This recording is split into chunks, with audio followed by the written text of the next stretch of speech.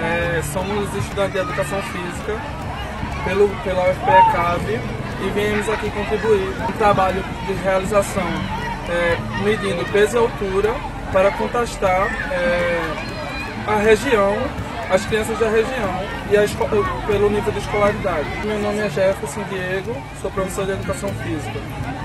Daí o processo que nós realizamos aqui é que logo que a estação libera os alunos, eles chegam, nós pegamos os dados, que é nome, idade, data de nascimento, e em seguida eles vão na balança saber o peso, depois a altura nós registramos e entregamos de papel os dados que foram captados. Eu sou Sebastião Manuel, também estudante da Federal. É, bom dia, meu nome é Maria, também sou professora de Educação Física.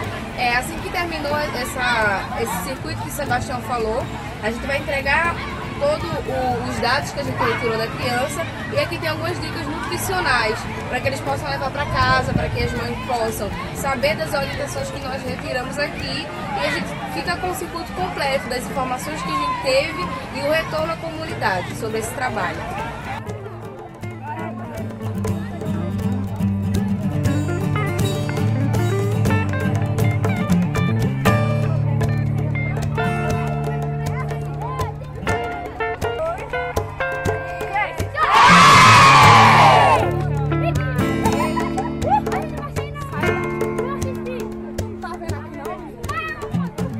你说，来。